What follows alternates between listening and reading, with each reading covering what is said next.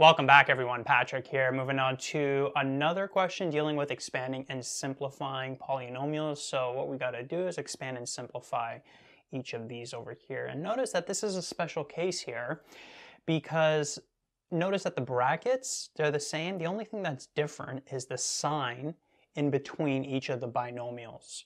And we've gone over a couple of these special products before within other videos, but this here, this kind of situation, what it's called is a difference of squares.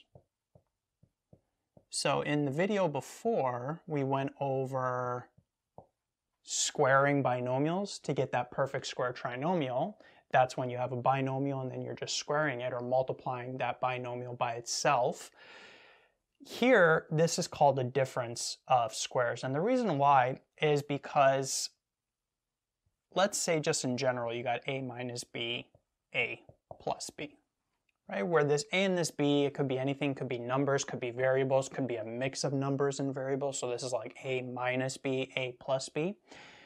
What would happen in general if you expand this? Well, you'll have a times a, which is a squared, a times b, which is ab, then you'll have negative b times a, putting those in alphabetical order, you'll have minus ab, and then you'll have negative b times positive b, which would give you minus b squared. And then notice that these are like terms and they cancel out. So there's actually no middle term there, and you end up with this over here. And that term, difference of squares, comes from this result over here, right? Because you have a difference here of squares, of numbers, or um, expressions that are squared. And so you may see, let me just rewrite this with all this, without all this work, you may see a formula in your textbook given like that. And then you may be required to apply that formula to these kinds of products. So I'm going to do it two different ways, both of these, like we did the squaring binomials. I'm going to show you manually how to do it, and then I'm going to show you how you can apply this formula over here.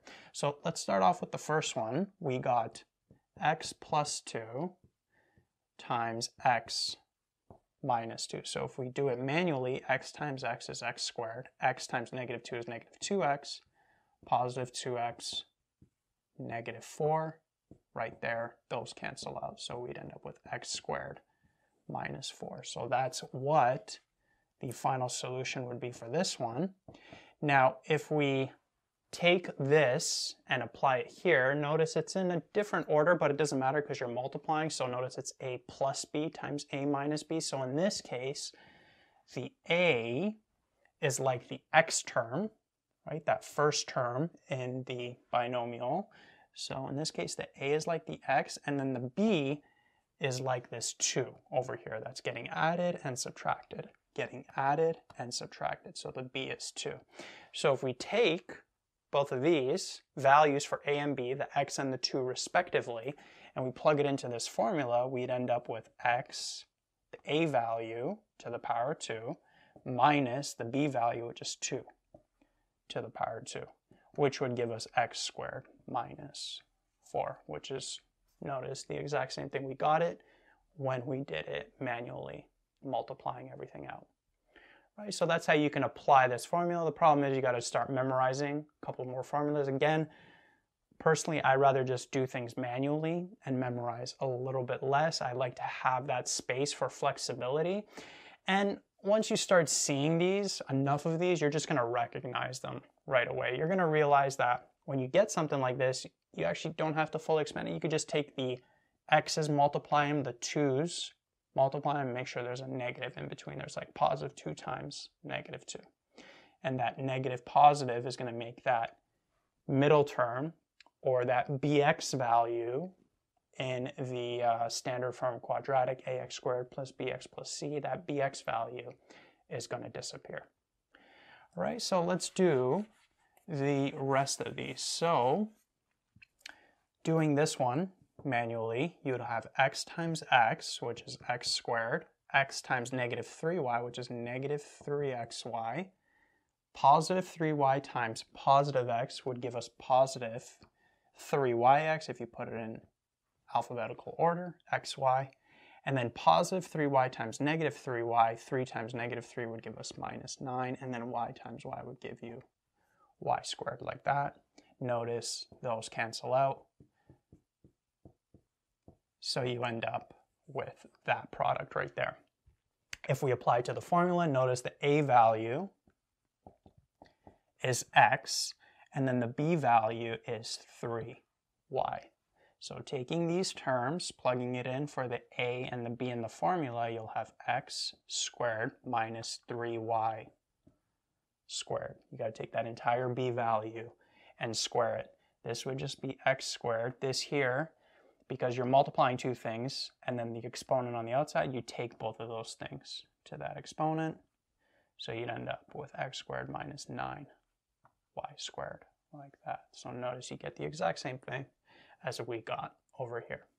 Moving on to the next one, we got 5 minus x, 5 plus x. Notice this one's a little bit different because here the variable is on the right side of the binomial versus here the variable was on the left side.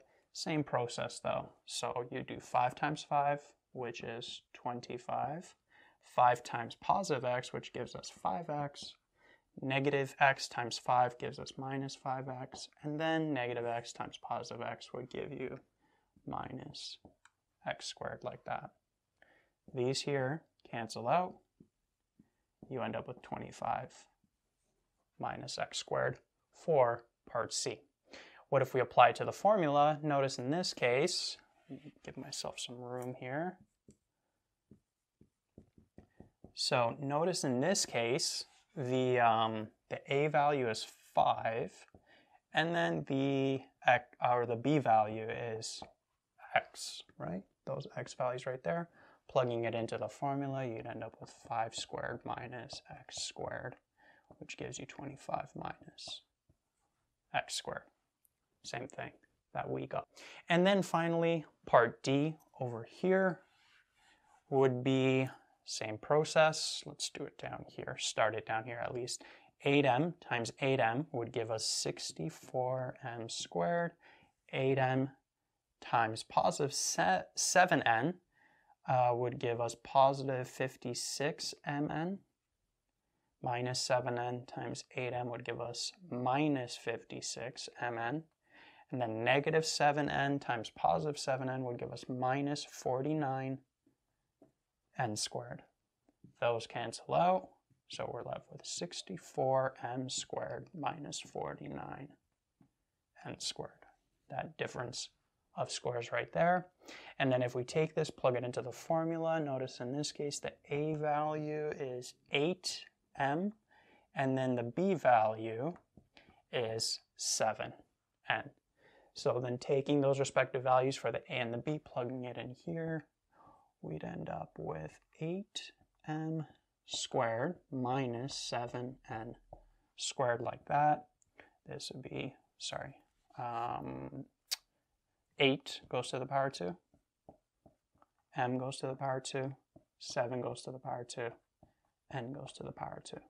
So we'd end up with 64 m squared minus 49 n squared, like that. Same thing that we got when we did it manually right? So be on the lookout for these kinds of expressions, they're difference of squares, and your final results for multiplying these kinds of binomials by each other, where they're the same but the sign is different in between them, should be these kinds of quadratics that are just ax squared.